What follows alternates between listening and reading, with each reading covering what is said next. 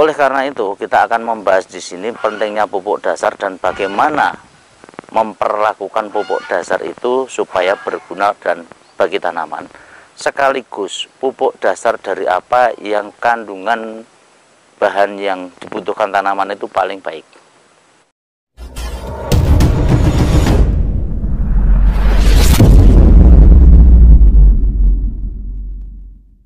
Assalamualaikum warahmatullahi wabarakatuh Selalu semangat pagi untuk petani porang di mana pun Anda berada.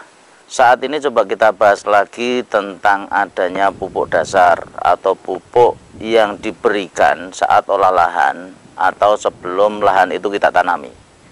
Pada dasarnya untuk tanaman kita Kita tekankan dari dulu selalu menggunakan pupuk dasar dari kotoran hewan ada beberapa petani yang memberikan pupuk, pupuk dasar itu dari pupuk sintetis atau pupuk kimia ya yang perlu kita pelajari dulu dan perlu kita ketahui yakni masalah pupuk dasar. Ibarat sebuah rumah apabila kita membangun sebuah pondasi yang bagus secara otomatis rumah kita nanti itu akan kokoh demikian juga sama seperti pada waktu kita mengembangkan sebuah tanaman apabila pupuk dasarnya sudah dipenuhi secara baik dan benar insya Allah nanti untuk perkembangan tanaman itu akan lebih maksimal. Yang perlu kita garis bawahi di sini yakni masalah tanaman. Unsur dasar yang dibutuhkan tanaman ialah nitrogen fosfat dan kalium makanya di dalam pupuk sintetis itu ada yang namanya pupuk yang sangat seimbang atau mungkin pupuk andalan sejuta umat yakni antara pupuk NPK yang diberikan secara seimbang. Ini ialah pupuk yang menjadi sangat luar biasa untuk para petani. Ya, dampak dampak dari pupuk kimia mungkin kita sudah bahas pada waktu yang lalu ya apabila kita memberikan pupuk kimia yang berlebih secara otomatis akan meninggalkan sebuah residu yang di situ akan membuat tanah itu menjadi kasar, tidak berpori-pori dan akhirnya tanah itu menjadi tandus. Salah satu cirinya yakni pada waktu musim panas tanah itu biasanya pecah dan keras sekali.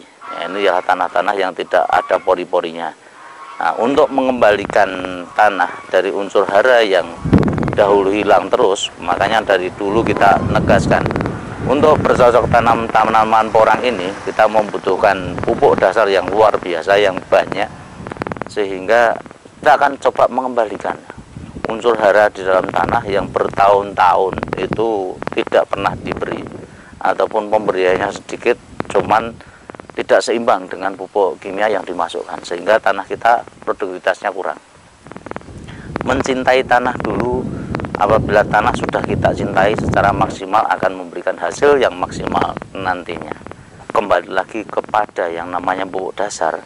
Pupuk dasar yang kita berikan hampir sekitar 30 ton atau 5 truk dalam satu hektar ini banyak yang tidak percaya karena nanti akan takut tanamannya terbakar oleh karena itu kita akan membahas di sini pentingnya pupuk dasar dan bagaimana memperlakukan pupuk dasar itu supaya berguna dan bagi tanaman. Sekaligus pupuk dasar dari apa yang kandungan bahan yang dibutuhkan tanaman itu paling baik. Nah ini mungkin kita jelaskan satu-satu. Pertama ya ini masalah pupuk dasar yang di tanaman nah pupuk dasar yang di tanaman ini harus terfermentasi secara matang ya fermentasi ini ada beberapa tahap. Pertama ialah fermentasi karena mikroorganisme. Sehingga apabila pupuk itu kita fermentasi biasanya kita menggunakan ya bakteri pembusuk bakteri lactobacillus dari yang kita beli yang namanya E4 yang di pasar banyak di toko pertanian banyak sekali. Nah itu kita campur dengan yang namanya molase. Molase itu ialah air gula yang berasal dari tetes tebu atau gula merah atau gula pasir apa pun yang manis yang di situ yang berasal dari gula itu ialah makanan dari bakteri. Kalau bakteri ini sudah dikasih makanan, secara otomatis akan mempunyai tenaga untuk mengurai pupuk-pupuk yang ada di situ. Biasanya proses penguraian ini butuh waktu sekitar satu bulan atau mungkin lebih juga bisa. Nah ini supaya nanti fermentasi yang pertama ini bisa berhasil biasanya pupuk itu akan panas sekali difermentasi ya kalau terlalu panas otomatis suh eh, bakterinya pun juga akan mati sehingga kita tidak membiarkan sebenarnya untuk fermentasi itu itu panas sekali lama waktunya ya secara otomatis nanti harus dibolak-balik. Tapi seandainya tidak dibalik pun ya nanti yang penting untuk fermentasi itu sudah jadi dan sudah kita campurkan di tanah. Ya, nanti kita bisa kasih tambahan dengan namanya pupuk organik cair itu yang pertama proses fermentasi diuraikan oleh mikroorganisme yang kedua ya, sering salah diaplikasikan pada petani ialah proses fermentasi ini baru mengalami proses proses fermentasi tahap pertama. Kalau mikroorganisme itu sudah mengurai pupuk secara maksimal, yang kedua nanti akan ada yang namanya organisme kecil-kecil, hewan yang kelihatan. Ini akan ikut menguraikan, baik itu ada belatung, ada yang namanya hewan kaki seribu, ada yang namanya macam-macam hewan di situ. Ini akan membantu untuk penguraian. Kalau sudah terjadi proses fermentasi yang kedua oleh organisme ini baru pupuk yang layak digunakan. Banyak petani yang mengaplikasikan pupuk dari tahap pertama sudah diaplikasikan sehingga dalam umbi porang itu terjadi yang namanya eh, lubang-lubang, lubang-lubang atau mungkin bercacar atau apa. Ya, ini karena proses fermentasi keduanya belum jadi. Nah, seyogianya apabila proses fermentasi pertama itu sudah jadi, biarkan setidaknya nanti untuk proses fermentasi kedua itu berjalan kalau tidak itu silahkan nanti proses fermentasi yang pertama itu dimaksimalkan dan langsung dicampur ke tanah. Proses fermentasi kedua itu biar berjalan di tanah. Ya, paling tidak kalau proses fermentasinya sudah jadi itu butuh beberapa bulan. Semakin lama proses fermentasi pupuk kandang ini akan semakin baik. Nah pupuk kandang ini ada bermacam-macam ya. baik dari sapi dari ayam dari kambing ada yang dari angsa ada macam-macam. Ini saya menemukan tabel-tabel untuk kandungan dari pupuk. Nah ini bisa kita lihat bersama-sama. Ya ini pertama dari kambing sapi babi kuda ayam merpati bebek angsa. Di antara hewan-hewan tersebut ini untuk kambing itu untuk kadar N nitrogennya itu 0,83 dan sampai dengan 0,95 sedangkan fosfatnya itu 0,35 sampai dengan 0,51 untuk kalsiumnya 1 sampai 1,2 untuk sapi ini untuk nitrogennya ini lumayan rendah dari 0,1 sampai dengan 0,9 fosfatnya lumayan tinggi 0,65 sampai dengan 1,15 untuk kalsiumnya cukup rendah dibandingkan dengan kambing. Untuk babi nitrogennya seperti itu kuda ayam nah ini saya tertarik dengan yang namanya ayam merpati bebek angsa nah, pada dasarnya untuk hewan-hewan di sini ini termasuk hewan unggas yakni untuk kandungan nitrogennya paling tinggi Terus untuk kandungan fosfatnya ini juga paling tinggi. Kandungan kalsiumnya juga paling tinggi. Ini untuk tabel pertama. Terus lanjut untuk tabel kedua. Ini untuk survei dari organic vegetable. Untuk kandungan NPK yang mungkin karena unsur makronya dari tanaman itu ialah nitrogen, fosfat dan kalsium. Makanya untuk kalium, mangan dan sebagainya, zinc dan sebagainya kita tidak bahas dulu ya. Nah ini untuk kandungan ayam nitrogennya tinggi 1,75 untuk fosfatnya 1,85 kalsiumnya 2,18 untuk sapi nitrogennya jauh lebih tinggi untuk fosfat dan kalsiumnya relatif rendah.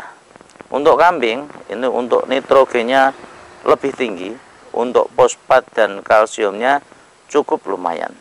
Untuk domba nitrogennya tinggi, kalsium dan fosfatnya cukup lumayan. Ini survei yang kedua ya dari tabel. Terus yang ketiga, ini ada yang namanya sapi perah, sapi daging, kuda, unggas dan domba. Pada dasarnya untuk unggas ini untuk kandungannya dari survei beberapa tabel ini ialah lumayan tinggi dipegang oleh unggas dan domba. Nah, ini juga ada tabel lagi untuk sapi, kerbau, kambing, ayam, babi, dan kuda. Ini pun juga sama ya untuk antara kambing dan ayam. Untuk eh, bahan nitrogennya ini lumayan masih memegang paling tinggi. Ya, paling tinggi. Ini terutama untuk fosfat dan kalsiumnya masih dipegang oleh ayam atau unggas. Nah ini dari tabel-tabel yang ada ini eh, secara otomatis bisa kita simpulkan untuk kandungan paling baik ya paling baik yang dibutuhkan tanaman. Karena tanaman itu ialah membutuhkan nitrogen membutuhkan yang namanya fosfat. Fosfat itu untuk pembesaran umbi untuk buah dan sebagainya. Sementara kalsium ini sangat penting sekali untuk membuat batang yang kokoh batang yang keras batang yang kuat sehingga di poreng ini sering sekali terjadi penyakit yang namanya jamur. Nah kalau seandainya kalsiumnya kuat batangnya pun tidak akan lemah. Sehingga untuk jamur pun ya bisa meminimalisir. Nah, ini kandungan-kandungan yang sangat dibutuhkan untuk tanaman. Sehingga dari kemarin kita menyimpulkan bahwa kesuburan tanah ini terletak pada pH tanahnya berapa seandainya pH tanah itu sudah normal kandungan yang ada di tanah ini sudah sangat baik entah itu nitrogennya atau fosfatnya atau kalsiumnya ini sudah ada di situ. Apabila pH kita baik, secara otomatis juga bahwa tanaman itu akan sehat. Tinggal kita memantau karena rata-rata petani itu tidak ada yang mempunyai alat yang mengukur kandungan fosfat, kalsium, nitrogen yang di tanah. Ini saya belum menemukan ya petani-petani di di sini. Bahwa kan kemarin kita bermain ke dinas saja dinas dari uh, dari dinas pun tidak punya alat yang untuk mengukur itu. Nah, makanya kita bermain feleng untuk petani-petani supaya lebih maksimal nanti untuk hasil ya kandungan yang dibutuhkan tanaman di antaranya ya tiga unsur itu mutlak harus kita penuhi. Kalau seandainya tadi sudah melihat tabel-tabel yang ada, silahkan Anda mau pilih pupuk yang dari mana, yang paling mendekati. Nah, ini pilihan karena di situ kandungan fosfatnya dan kalsiumnya tinggi. Untuk nitrogen bisa dipenuhi karena pada waktu kita penanaman nitrogen itu banyak dikiriman ya. Kiriman dari, dari air hujan itu kandungan nitrogennya banyak sekali. Nah, untuk tanaman di awal starternya memang butuh nitrogen. Butuh nitrogen yang berlebih yang kuat. Tapi pada waktu kita tanam apalagi tanaman porang ini musim tanamnya ialah pada waktu hujan pertama. Ya, hujan awal hujan bukan hujan pertama ya. Awal hujan dan di situ udara sudah stabil makanya kita waktunya nanam porang di situ. Kita tidak bisa memetik atau menyimpulkan bulan apa, tanggal berapa. Kita harus mengikuti alam. Dan kita akan menentukan waktu awal tanam porang itu di tanggal berapa, bulan apa itu dari alam. Makanya kita tidak bisa memaksimalkan di situ. Untuk usia porang kemarin sudah kita bahas waktunya kapan sampai dipanen ya sampai dengan turman pada waktu dormansi sendiri itu juga faktor alam mempengaruhi. Jadi kita menanam di sini itu bukan seperti pabrik yang bisa dikasih garansi ya. Karena ini ciptaan Allah, bukan ciptaan manusia. Kalau pabrik kita membuat ciptaan ya otomatis harus melewati quality control, harus dites dan sebagainya. Hasilnya mutlak satu tambah satu sampai dengan dua.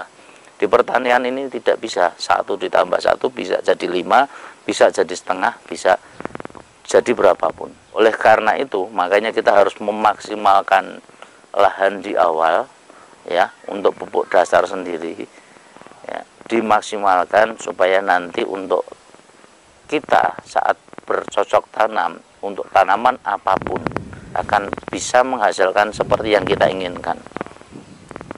Untuk bisa menghasilkan seperti yang kita inginkan kita harus mengetahui kebutuhan pokok dari sebuah tanaman itu apa. Makanya kita tidak lupa dari tadi kita menurut apa yang kita dapat untuk semua tanaman itu kebutuhan pokoknya ialah nitrogen fosfat dan kalsium. Nah, ini tiga kebutuhan pokok. Apabila kebutuhan pokok ini sudah dipenuhi secara otomatis dia akan menghasilkan tanaman yang lebih maksimal ini perlu dicermati untuk penyakit-penyakit yang ada di tanaman. Kalau seandainya kebutuhan pokok ini sudah dipenuhi pH tanah sudah stabil kebutuhan pokok dari tanaman itu sudah ada niscaya untuk penyakit itu semua itu akan minggir. Sama dengan tubuh kita. Apabila kita itu sudah sehat makan kita sudah cukup dan sebagainya ya kita akan jarang terserang penyakit. Tapi kalau kita sudah salah satu kebutuhan kita itu kurang dan sebagainya ya otomatis penyakit akan gampang masuk ke tubuh kita. Makanya ada beberapa dari teman-teman yang di luar sana ya dengan adanya tanaman ini saling berlomba-lomba untuk membuat sebuah konsep di dalam mempercepat pertumbuhan tanaman hal-hal yang mempengaruhi apa-apa dan sebagainya sehingga apa ada yang namanya nanti membuat konsep untuk menghilangkan jamur harus dikasih dengan unsur A atau menghilangkan yang namanya penyakit nanti dengan dikasih unsur B sehingga mereka menjadi bahan-bahan yang mereka bisa uh, saling jualan. Nah ini selalu kadang dilebih-lebihkan sehingga petani itu ngertinya mereka dengan hal yang seperti ini ini akan menyelesaikan sebuah masalah. Ini yang terjadi ialah konsep yang salah. Nah, jangan dianggap dengan konsep-konsep yang seperti itu itu akan bisa berpengaruh karena apa? Dengan adanya organik ini kita tidak bisa membasmi jamur dengan yang namanya organik. Setiap jamur ya perlu kita kasih obat. Nah, butuh yang namanya sentuhan kimia. Makanya perpaduan antara organik dengan kimia ini ini masih sangat diperlukan untuk tanaman. Nah, untuk porang sebaiknya kita mengolah tanah diusahakan untuk organik yang maksimal karena tanah kita sudah berpuluh-puluh tahun tidak mendapatkan unsur hara yang pas. Untuk teman-teman yang lain yang, yang masih menggunakan yang namanya kimia, ini paling tidak harus dipadukan ya antara organik dengan kimia karena semuanya itu harus berimbang. Apabila cuman kimia atau yang diteruskan ya sama saja kita akan membuat tanah kita selalu rusak dan kita tidak akan bisa mewariskan tanah kita nanti kepada anak cucu kita supaya bisa bercocok tanam yang baik. Makanya pola-pola yang lama mari kita mulai dirubah sedikit-sedikit supaya nanti sistem pertanian kita itu paling tidak itu semi semi organik. Di mana unsur hara kita kembalikan dari kimia pun juga boleh dimasukkan sedikit. Nah, ini supaya mendongkrak nanti untuk tanaman kita. Nah, sekilas itu dulu yang kita bahas ya tentang kandungan-kandungan pupuk dasar atau pupuk kotoran hewan silahkan dipilih sendiri untuk teman-teman yang mau menghendaki dari kotoran apa atau mungkin di daerahnya adanya itu. Yang silahkan dimaksimalkan. Berarti nanti dengan tabel itu kita bisa melihat bahwa tanah unsur hari yang kita butuhkan kandungan apa yang kurang. Nah kita tinggal nambahin nanti. Ditambah secara organik silahkan. Untuk ditambah dengan kimia sedikit itu pun juga akan membantu. Tapi tidak terlalu berlebih sesuatu hal yang terlalu berlebih tentunya akan sangat jelek. Mungkin dari saya itu dulu. Banyak salah kata yang mungkin terucap. Mohon maaf yang sebesar-besarnya. Bila itu walidayah assalamualaikum warahmatullahi wabarakatuh